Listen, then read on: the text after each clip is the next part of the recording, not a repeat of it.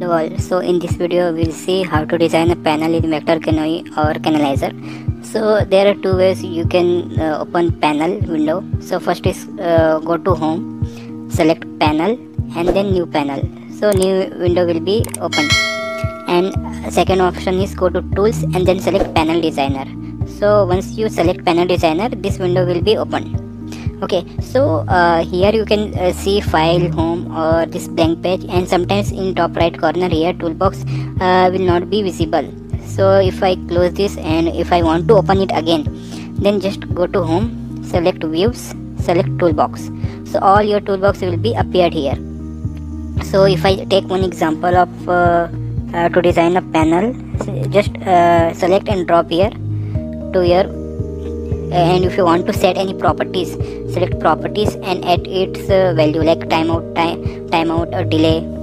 And there are multiple uh, uh, toolbox actually. This is for analog gauge this is for compass uh, just select and uh, drag here. This is compass i don't if you don't want any panel just select right click and select delete. Okay so let's say for example if i want to show you properties how to add its uh, properties. uh, for analog gauge or for uh, clinometer.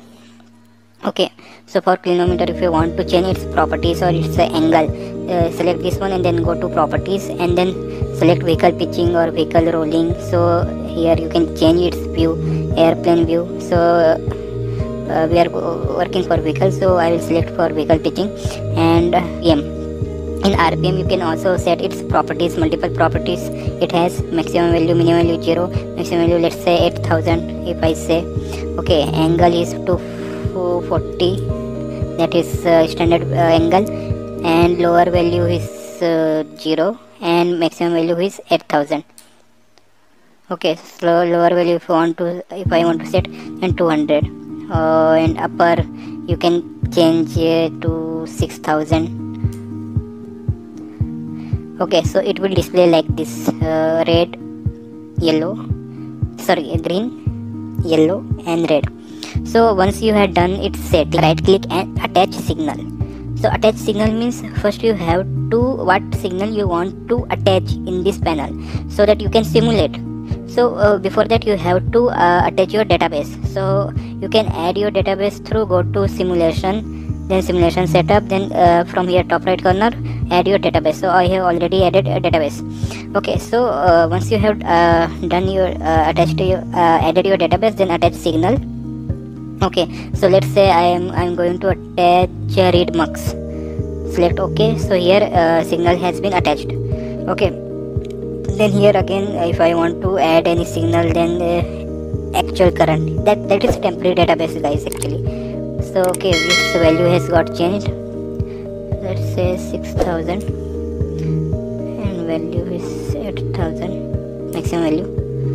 And its uh, upper value 6000 lower value is 2000 okay so just uh, and go to file then save as. So i have already saved it. So, okay.